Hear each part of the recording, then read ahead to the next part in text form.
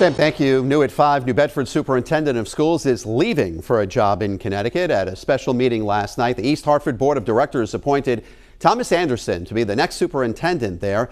Now, Thomas has led the New Bedford School District since 2018. He will finish out the school year and begin his new role in East Hartford on July 1st. We don't know yet who will take over in New Bedford.